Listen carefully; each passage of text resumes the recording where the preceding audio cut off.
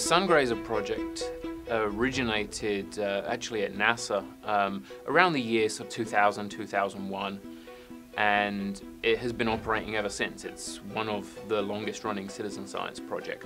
Essentially the NRL has built this fantastic telescope that's out in space, looking at the sun, looking at coronal mass ejections and all the fun stuff that comes off of the sun that we, that we care about here at NRL.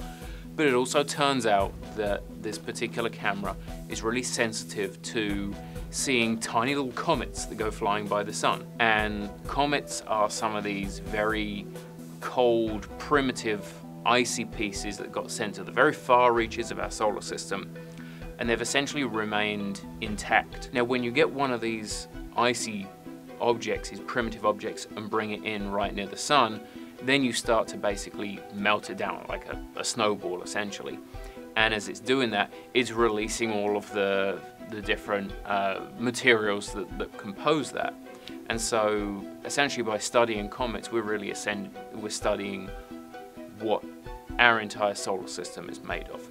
Perhaps a better example is a, a windsock on an airfield. The, the windsock is out there and it's reacting to the, the airflow around it. So in a similar sense, we can observe comets as they're flying into the sun, through the sun's atmosphere, and we're getting an idea of the, uh, the environment that they're encountering really close to the sun. Sun-grazing comets are not going to answer all of the questions that we have about space weather. They're not going to provide the critical answers, but they provide small pieces of information and very, very unique pieces of information that we can't obtain any other way. And so it, it's all about building up a very complicated picture from as many little pieces as we can put together.